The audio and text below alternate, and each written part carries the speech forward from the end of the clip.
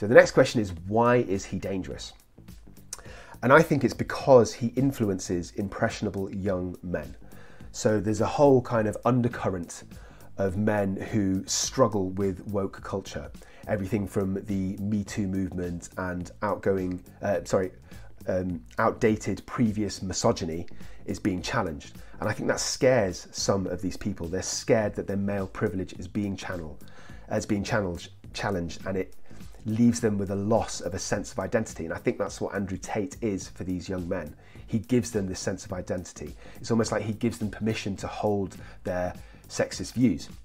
And I think this is very dangerous because he basically can weaponize the, gull- the gullible and vulnerable individuals and potentially even encourage violence. We know that certain uh, followers of his, admirers of his, have done things like um, uh, have actually approached and physically assaulted and threatened people that, that have challenged Andrew Tate publicly.